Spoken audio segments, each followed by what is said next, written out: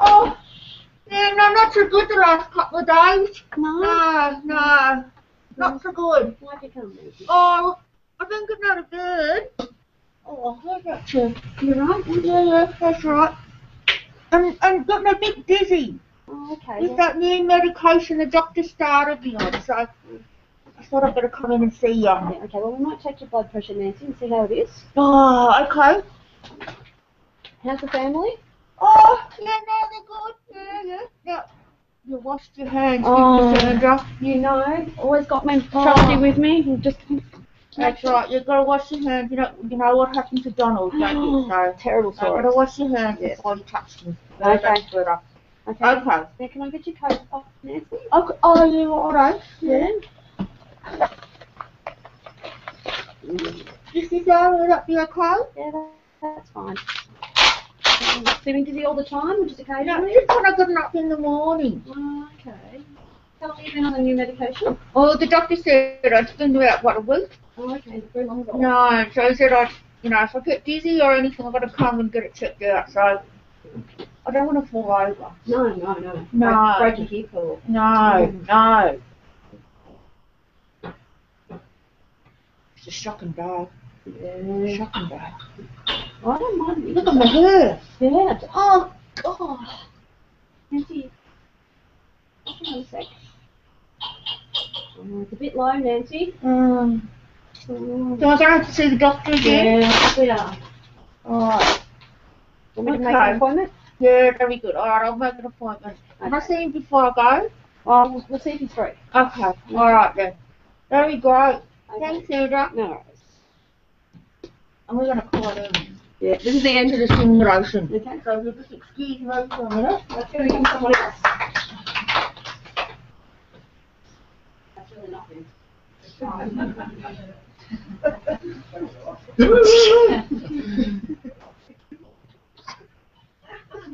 She's stripping off in the hallway.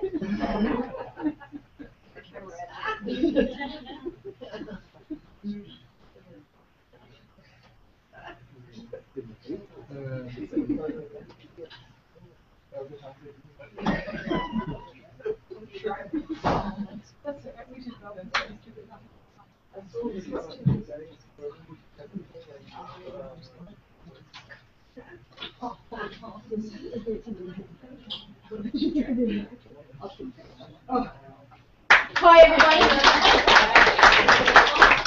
So I just like to show you. This is Nancy. Nancy is a, a latex mask. It comes all the way basically from California over in Hollywood, um, and she is extremely heavy. She's also very hot and very sweaty, sweaty, and uncomfortable if you be, you know keep her on for a long time. So Sandra, how did that feel for you? Um, like you worked with Monica, like Nancy. So what did everyone else think about that? What did it make you feel about Nancy sitting here? I will admit, she's odd looking. I admit that. Unfortunately, that's that is the way that she has been made. So she does get a couple of unfortunate looks. But I have to say, I've also had the reaction though it's it's not you, Monica. We know it's you, but I can't say anything because that's Nancy. So if I actually say anything, I'm going to hurt Nancy's feelings. Okay? So you, the, the approach behind this, it's called Mask Ed. And the approach is it's masking the educator. So what you're actually doing is there is an expert in the room. The expert knows what the learner needs to know. And so they're the guide. They guide the student down that pathway. So then you actually derobe, take the mask off, and you debrief as the expert. And that's what this is all about. The other thing is it really is meant to actually engage learners because you can imagine if that's me sitting in the chair, it's completely different. Whereas when it's Nancy, I love, they'll love her because she's a character. Nancy is actually, um, she's a retired nurse because they actually also have to have a reason to come back into the program. They can't just turn up out of the blue. They have to actually have a reason to teach. Um, so she is actually a retired nurse. So she has this um, passion about it because her husband, who was a surgeon, um, actually died from an adverse event in a healthcare institution. So she, her passion is patient safety. So she comes back and teaches all things about patient safety, hence hand washing and all that sort of stuff. So she will pick up students on that sort of stuff. If they don't check my ID band when they give a medication, or they don't actually check in my consent if I'm going to have a procedure or something like that, Nancy will stop them and say, hang on a second. Okay? So that was just one thing to actually sort of show you a little bit about what simulation is. Um, I suppose there's there's many definitions now that are around there around simulation, and then we have a governing body in particularly in healthcare simulation, where we actually, and that's a society, society for Simulation in Healthcare, and they have actually got this definition about what simulation actually is. Okay, and that it's the imitation or representation of one act or system by another. Now, at the moment, we actually know there's there's this huge growth in particularly healthcare-based simulation it is exponential at the moment. Um, and because of that, there are many institutions and lots of stuff are also faced with this dilemma of what is this simulation about, what's it going to mean for them, and all that sort of stuff. So here at La Trobe, we've actually also got together a bit of an expert advisory group trying to explore what does this actually mean for this faculty in particular, and trying to get together and work out what are we going to do about this what resources will it need? What planning is it going to need? And all that sort of stuff. So we've actually really grappled with this. What is this definition of simulation? And this is still a work in progress. It is not finished or anything like that. So what we've actually come up with so far is that it's a guided, interactive activity that replicates or amplifies real experiences. It can be used in teaching, learning, research, and rehearsal, investigation, reenactment, and debriefing. So there's lots of possible applications for simulation. Um, and it can be used to evoke legitimate responses so that reality can be better understood, managed and practiced. And so far that's as far as we have got. And it took us quite a long time to even come up with those words.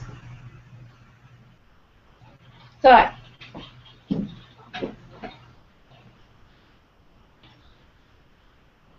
There's been quite a bit of research, particularly in the last couple of years, about what are some of these outcomes from learning through simulation activities.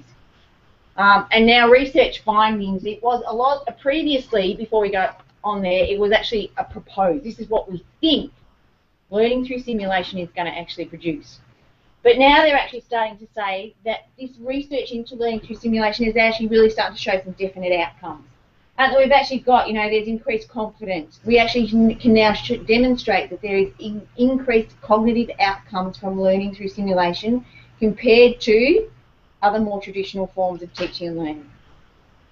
We can actually show that, particularly along the lines with communication, um, clinical reasoning, decision making, those sort of skills are really fantastic um, and work really well when you apply learning through simulation. So it's shown that this learning through simulation has benefits. There are increased learning outcomes when you're using it. So what does that actually mean? So where we need to start thinking about this curriculum thing and how does simulation and learning through simulation start to fit with this curriculum? So if we look at what would have been a traditional sort of approach, and I'm taking this perhaps from a nursing background predominantly because that's my history, um, we're looking more at sort of like the lectures. We've got and whether it's a lecture, it's a video, it's a podcast, whatever you want to do, what we're doing here is actually developing up our foundational knowledge. So then we're going to use a workshop, a tutor, or something like that, where we're going to actually start to this exploration, examining, probing, applying stuff. Does it fit here? Does it work there? That sort of stuff. And we want to do that when we start to, you know, see what happens in a clinical situation. And then we have our clinical skills, where we're actually doing task-based stuff. We're actually looking at the clinical skills. We're connecting syringes and needles and actually learning how to draw up drugs. And then they go out onto clinical, and it all gets pushed and mashed together. So they integrate all that knowledge out there, um, and that's the first time they really get a chance to actually roll it all into one. And that would have been sort of like a traditional journey. It might change a little bit every now and then, but that's a, sort of like a traditional format that they would have had. Then we did actually have online learning came in. So then we thought, oh, this is great. Adds a nice little layer of complexity here. We can add some layers, and we can, de- oh, we might be able to do something perhaps before they come to the lecture, so now they'll understand what I'm talking about. Then we can actually, well, now they've actually got to apply the stuff that I tell them um, after the lecture, before the workshop, so then we can even get more further advanced. And now I can even give them a video and other things to do before they come to the labs. So then they're even, you know, more prepared for that. But if we start thinking about learning through simulation and where it might fit and the benefits that it might have, we get a bit of a different picture. And it's a little bit more intricate and a bit more complex. So to develop up foundational knowledge, can we use learning through simulation for that? Absolutely. And I've seen many times that mannequins are taken into lecture theatres and physiology is demonstrated on quite a high-tech mannequin. What happens if you drop blood pressure? What then happens to the patient's pulse and respiration? The mannequins will do it automatically. They will demonstrate that for you. The other things that we can actually start thinking about is this learning through simulation can actually be for students an opportunity for them to assess their own learning needs and see what is it that I need to know to be able to look after a patient in this sort of situation. The challenge with that though is we don't want to actually set learners up to fail. Quite often putting them in something like in a hands-on simulated learning session may cause that to happen and we, you need to be very considerate about how you actually do that. So in a workshop, so when we go and do this exploring and refining, we really make, need to make sure we have really tailor-made, well-designed activities. So if you're going to do a role play, it's not like at the start of the. You know, you can be a 43-year-old woman. She's got breast cancer.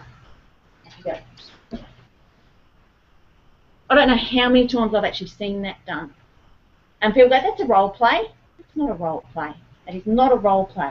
A role play is scripted. There are things that you actually need to act out. They are well designed, well written out activities. And you can't just spring it on someone. The other thing is, so when we actually do our clinical skills, we now need to start thinking about different layers of clinical skills. So we not only have the technical skills, which is connecting up the needles and the syringes and doing all that sort of stuff, but we also now have this layer of non-technical skills. There's communication, decision making, leadership, all those sorts of things that come in with that as well. So by, by using these learning through simulations, we can actually have technical skills, we can have non-technical skills, and we roll them into what we call procedural skills. So procedural skills is looking after a patient with an IV. So it's not looking, it's not caring for an IV. That's not where it's looking after a patient with an IV, which is a little bit different. And then we can actually have this opportunity to do this thing about learning through simulation where we actually get an opportunity so students can actually integrate everything they've done before. So all the knowledge from HBA, HBB, everything gets an opportunity to be rolled into one thing before they even hit a real patient.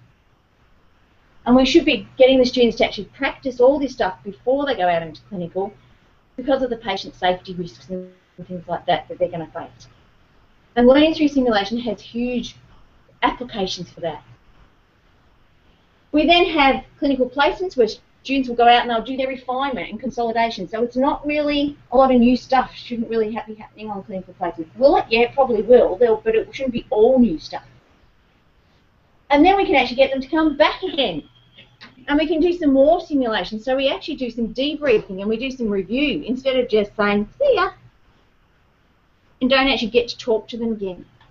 It's really, really nice to actually see how did go, what did you learn, and then they can get to refine, well, oh, can we just do one of those simulations again, because I just can't remember how that worked.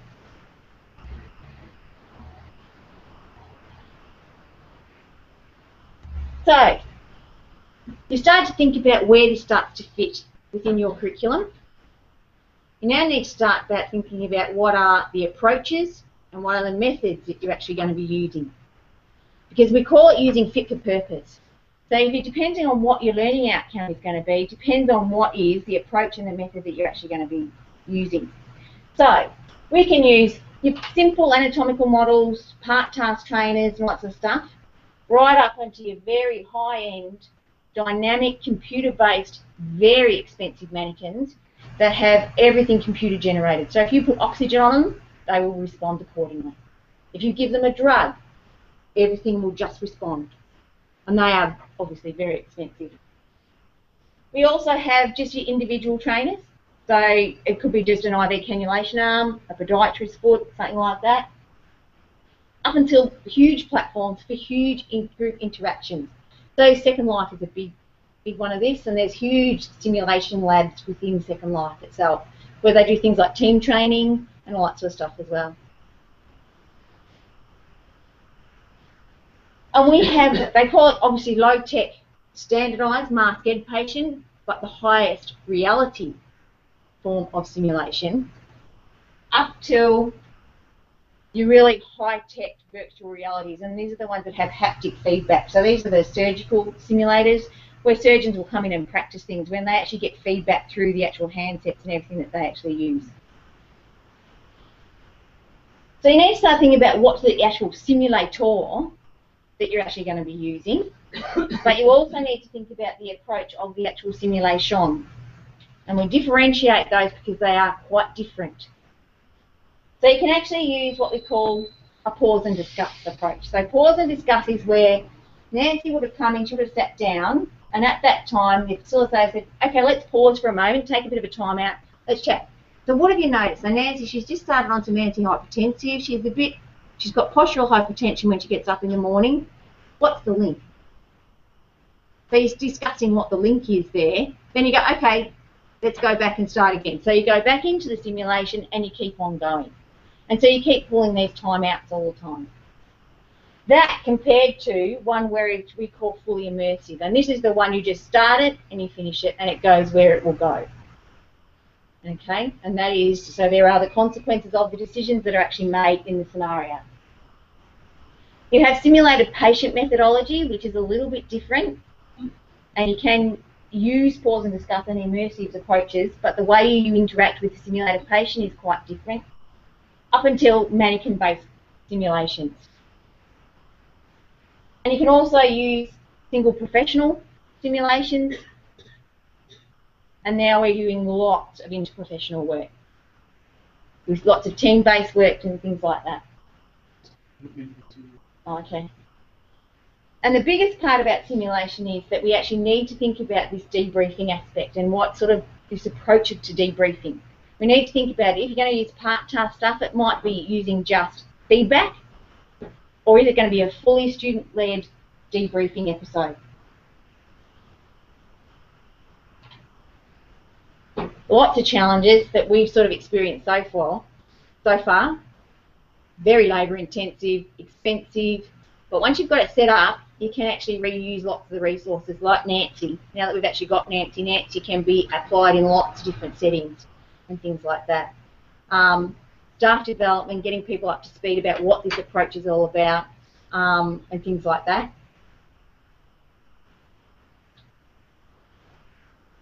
The other thing is it's also more about getting access to equipment and things like that. Um, it's getting access to people who know how to use the equipment. Uh, it's getting access to the actual spaces. So there's lots of challenges around it. But they're saying now that learning outcomes are actually showing that there's lots of benefits as well. The only other thing would be using simulation for assessment. And just very briefly, they're actually saying now this is a new publication that's just come out in the last month. Um, this is in from Cook, and they're saying assessments that rely on self-report, logbooks, hours of training, written tests to determine clinical competence will no longer suffice. And what we really need to start looking at is valid assessments that we show we can actually have these learners have the required proficiency, proficiencies for safe and competent practice. And we actually start to see now that so simulation can be used for quite high stakes and quite sort of um, as informative, summative types of assessment, where actually for certification and things like that. And they actually do this in the US. Quite often many anaesthetists and they actually have to come back regularly and actually are certified as being competent still. And so it's a, a new burgeoning area for Australia because they're actually looking at certification and things like that here now as well. Um, there's lots of things actually happening at the moment here in Victoria. There's lots of money being spent on this learning through simulation approaches and there's many resources that are being developed. So many virtual-based resources and things like that um, about how you can actually, and the thing about simulation now, it's not sort of like a, a bit of a blanket approach anymore people being very targeted about it's a specific approach, a specific method of stimulation to develop a specific type of skill, whether it's non-technical skill, whether it's a technical skill, there is a specific approach that you actually use to develop that up. And now we're becoming very targeted about which approach should be used for which. That's about it from me.